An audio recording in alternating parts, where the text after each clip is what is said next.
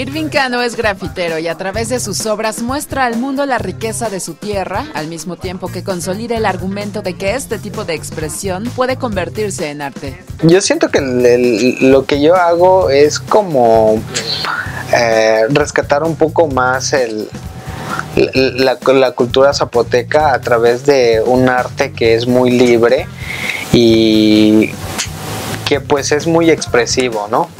Porque pues a, veces muchos critican de que artista es quien hace figuras abstractas, ¿no? O sea, y pues no, yo no digo es cada quien tiene su idea, ¿no? Pero sí yo pienso que lo que yo hago es un poco más este pues más fácil de entender, ¿no? Y a la, a la sociedad, ¿no? O a la comunidad, al pueblo. Originario de Santa María Shadani, Oaxaca, Irving ha conseguido la satisfacción de haber cumplido sus sueños.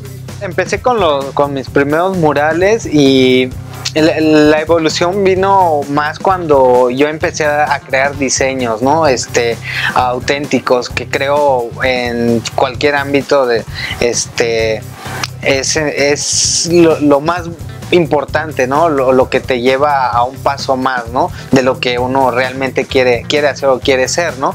Este, el poder este, ser auténtico, ¿no? Tener tus cosas este, auténticas, originales. Eso fue lo que me ayudó bastante también, el, empezar a, sacar diseños propios y pues la gente pues, hubo buena respuesta y eso te, te va motivando más.